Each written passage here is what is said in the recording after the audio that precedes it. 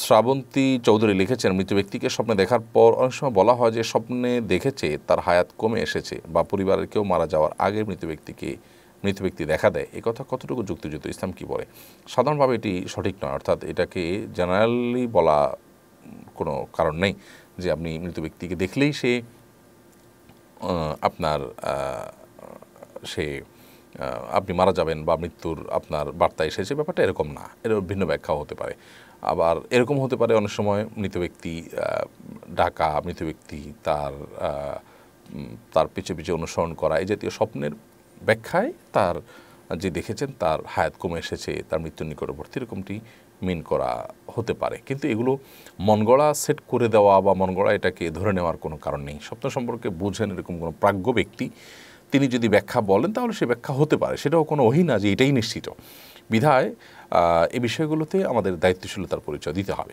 এবার প্রশ্ন করছেন সঞ্জিদা সিদ্দিকা, আপনি লিখেছেন, সুরা বাকারার একটি রেকর্ডিং যদি বাড়িতে বাজানো হয়, সেটা কি জীবিত ব্যক্তির সরাসরি তেলাওয়াতের সমতুল্য হবে?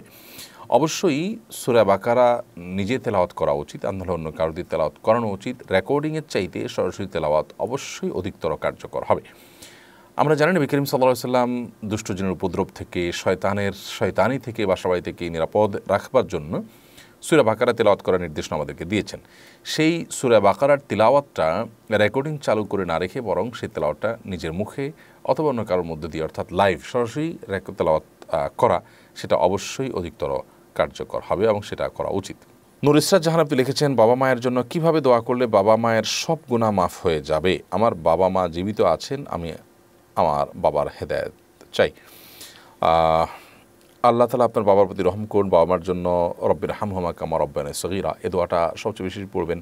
এছাড়া কেমন বাক্যে আল্লাহ তালার কাছে তাদের জন্য সাধারণভাবে দোয়া করতে থাকবেন।